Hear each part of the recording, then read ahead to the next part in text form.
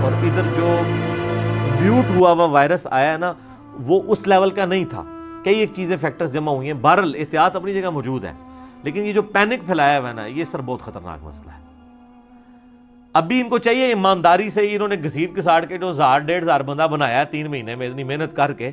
इसका जरा ना ईमानदारी से ना इसका ब्रेकअप हमें दें कि इनमें से कितने लोग कितनी उम्र के थे, उनको पहले कौन कौन सी बीमारियाँ थी।